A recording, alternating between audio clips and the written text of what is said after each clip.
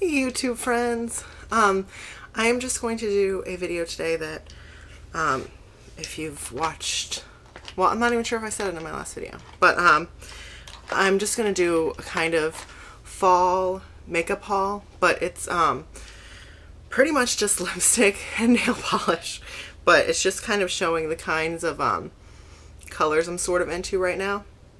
And uh, yeah, I guess I'll do the nail polishes first because there's not very many of them.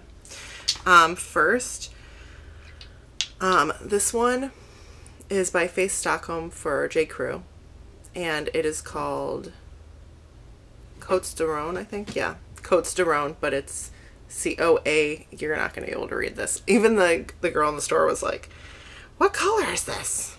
She couldn't read it. She was like, she really liked it, but she couldn't read the color. And someone else like came over to read it to her. Okay, it's C O A T S D U R H O N E. And that's three separate words in case, um, yeah. So, but this is just like a really vampy, like, uh, blood red burgundy. So, really nice. Um, I have that on my toes right now, but uh, I don't think you want to see that. And then, um, I also love I love nudes all year round, but this one um, I was particularly impressed with. It is the Sally Hansen Instant Insta Dry in 150 Petal Pusher. So um, I posted an Instagram picture of this too. My Instagram is Don't Call Me Jessie. I always link it down below. I'm totally obsessed with Instagram. Um, if you're on Instagram, you should let me know and I'll follow you too, probably. So this one is by China Glaze and it is called Perfect Plum. Purr like a cat. Focus! Focus. It doesn't want to focus. Anyways, this is Perfect Plum. Sammy, why you always want to be in my videos? Come here then. Don't you mess up the camera.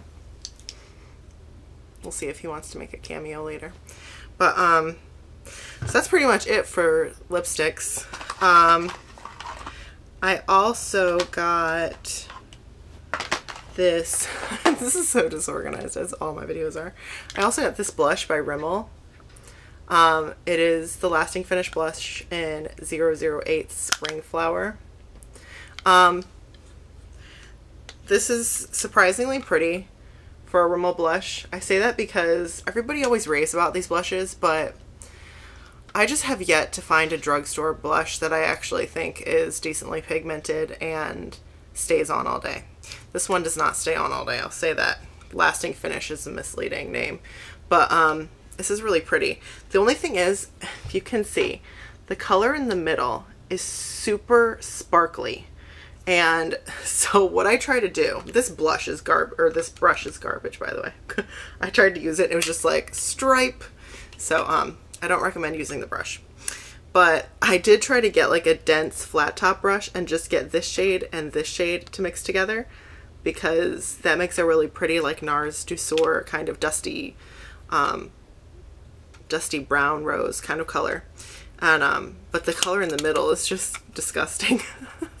it's, um, it's just too sparkly and I have acne scars and stuff and really sparkly blushes just don't do me any favors. So, but um, this, I'm going to show you two other things too because I was really happy. Ulta had a $5 off, $10 coupon, and I also had $3 um, in rewards points.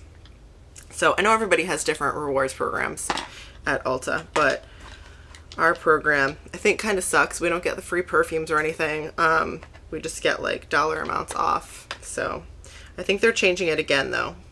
Probably because the rewards programs don't make any sense.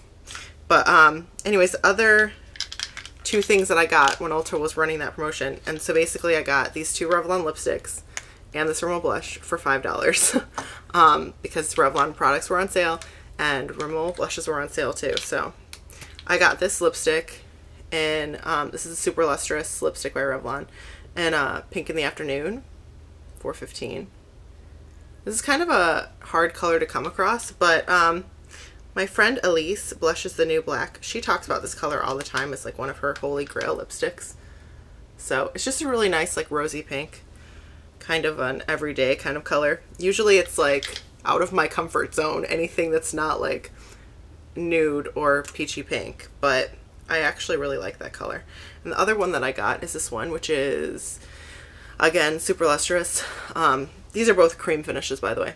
Uh, this is 630 Raisin Rage. And this is a really vampy, like brown toned berry red.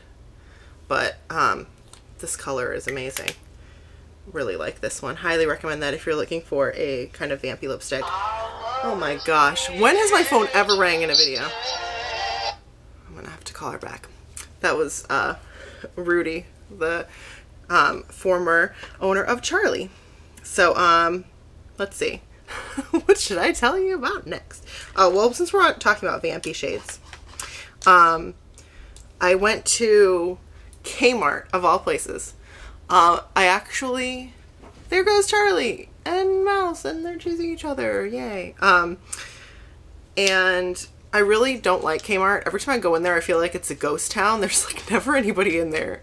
It's always like super quiet and just like, it kind of creeps me out to be honest. But one thing I will say is that they always have a really good selection of drugstore makeup in terms of like the regular collections. Um, they always have a lot more products in stock than like Target does or Walmart or God, Walmart doesn't ever have anything. But um Ulta, they have a really good stock of products. So I got um and the Kmart by me also carries Wet n Wild. So I really like Wet n Wild's matte lipsticks and I knew that um they had some really good like vampy shades so I wanted to check them out. The first one that I got is um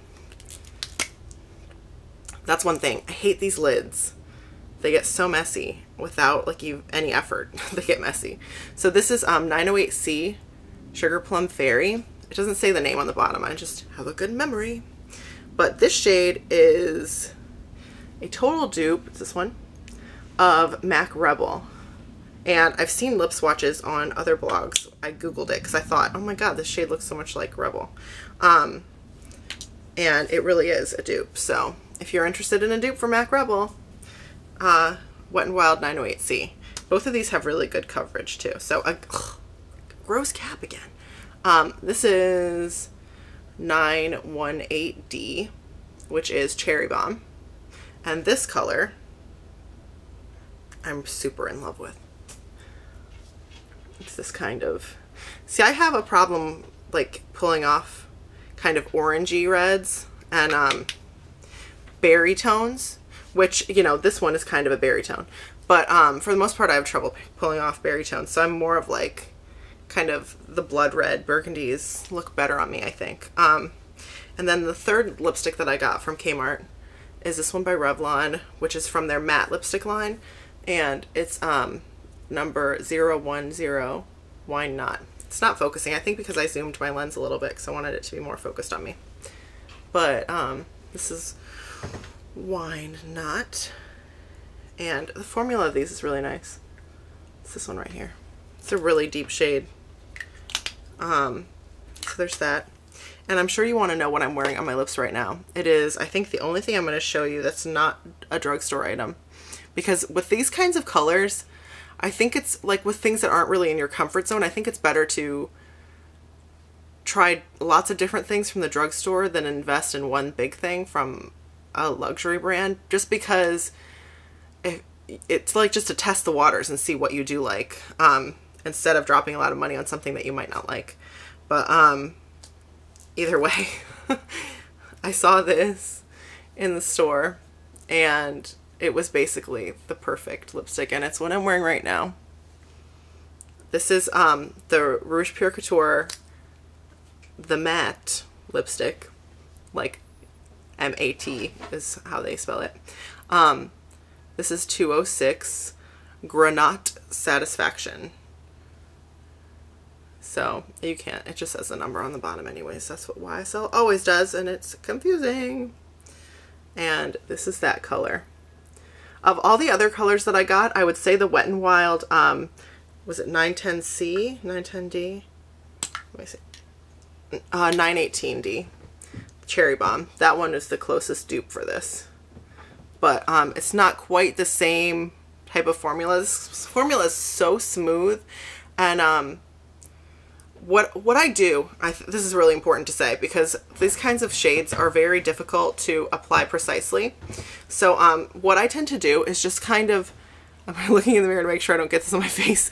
Um, is I just kind of put a little bit in the middle of my lips and then I kind of like this shape of a bullet is really nice with this kind of lipstick because you can more you can get a more precise um, application for your top lip because that's that tends to be the hardest part. But um, I just put a little on the bottom, a little on the top, and I just blend it out with my finger and put a little bit more, blend out with my finger, and um, it just applies it the most evenly, I found. And it also um, tends to make it more of a stain. So this is not a regret at all. It's pretty much amazing. So um, I love this and I highly recommend it. Um, so just a couple more drugstore things. Oh, I did bring out the the case for the YSL one in case um, I forgot the name. but it's not focusing, so it's no point in me showing you the box. Um, boom, boom, boom. So in terms of Maybelline, I have, um, you already know, my beloved Refined Russet from the limited edition collection. The one thing with dark lipsticks is that they're so hard to wash off here and like when you swatch them. So that's Refined Russet. It's definitely more of a brown toned shade. So out of my comfort zone, but for some reason I find it flattering when most shades aren't. Like this one, which was a mistake purchase. this is um, Totally Toffee. These are both from the Color Color Sensational line. Um, this is 215. So on the hand, it doesn't look so bad. It's kind of like a blankety shade, but a little bit more brown. Um, blankety by MAC. But yeah, this uh, totally toffee shade looks very 90210 brown on me. If you know, I'm talking about old school 90210, not new school.